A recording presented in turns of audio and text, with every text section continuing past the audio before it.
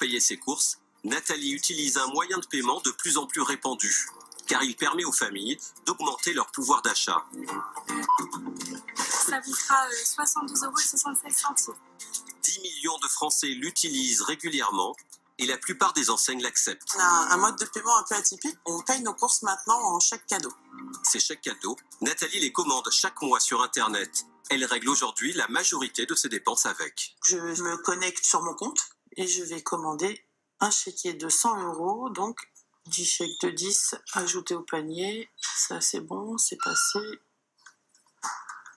Un envoi recommandé et par CB. Grâce à ces chèques cadeaux, je cumule du crédit d'achat. C'est une véritable aubaine parce que dans quelques mois, je vais euh, pouvoir euh, utiliser ce crédit d'achat-là pour acheter mes chèques cadeaux. Avant, on faisait nos courses, ça ne nous rapportait rien.